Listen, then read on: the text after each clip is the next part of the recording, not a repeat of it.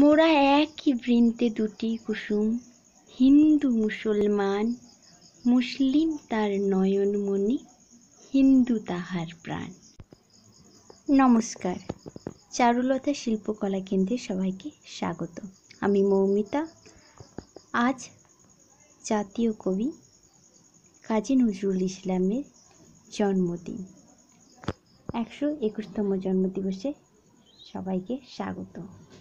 তো আমরা ছবি আঁকবো আমাদের কবিকে। তো প্রথমে আউটলাইন করে নেব পেন্সিল দিয়ে। তো সুন্দরভাবে দেখতে থাকো এবং করতে থাকো। প্রথমে কি টুপিটা করে নেব? টুপির সাইড থেকে যদি আমরা করি সুবিধা হবে।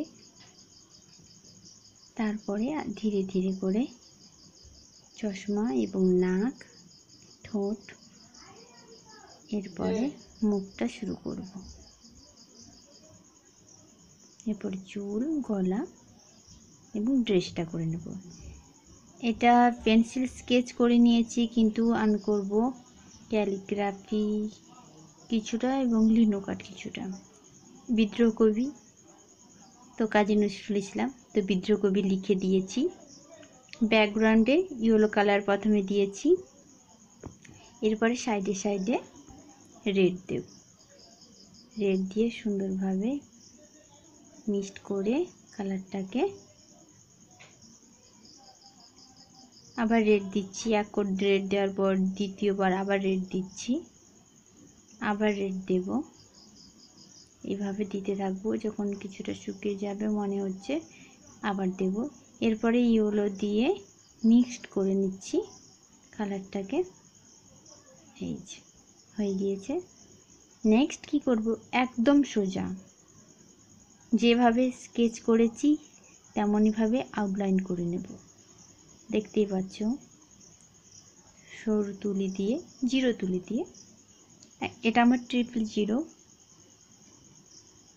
দিয়ে সুন্দরভাবে আউটলাইন করে নেব।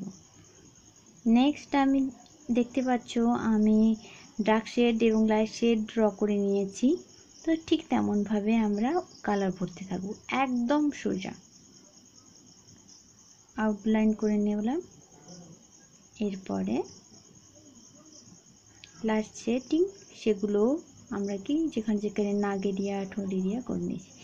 এবার দেখো যেখানে যেখানে ডার্ক এরিয়া সেখানে কি করছি? যেহেতু আমি রেড কালারেই করতে চেয়েছি, তো বিদ্রোহী কবি আমি রেডকে রেখেছি। তো রেড এইভাবে ভরে দেব, এই ধারটা। তো লাইট পড়েনি ডার্ক এরিয়া দেখিয়েছি, তাই এই ধার টেনে দিয়েছি।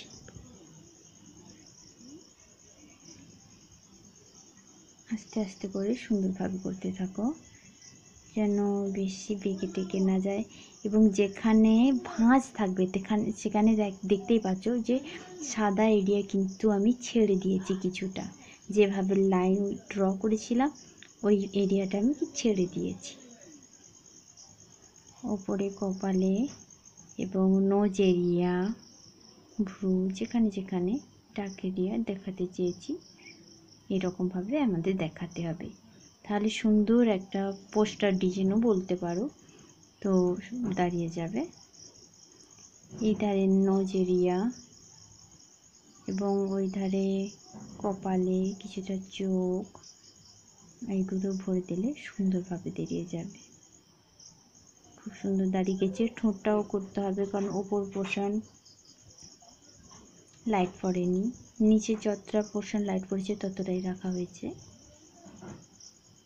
এবার ড্রেসটাকে করে নেব। একদম সোজা।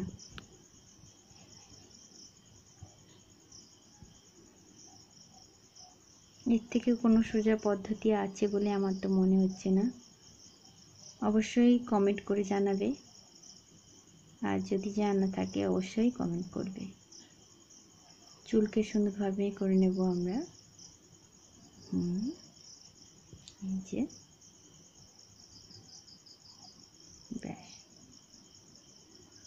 সুন্দর হয়ে গিয়েছে। কেমন লাগল অবশ্যই প্রত্যেকে কমেন্ট করে জানাবে।